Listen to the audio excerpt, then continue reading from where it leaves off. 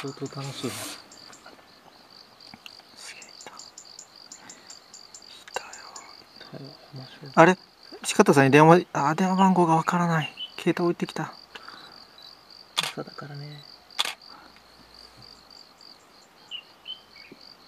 えー携帯置いてきた。あーごめんなさい。四方さんごめんなさい。おうちゅうさんはに小坂さんのお家を追ってたら出てくるんじゃないかあた。当た。りは当た。った。と思う電線生商品ちょっとしばらく見てましょう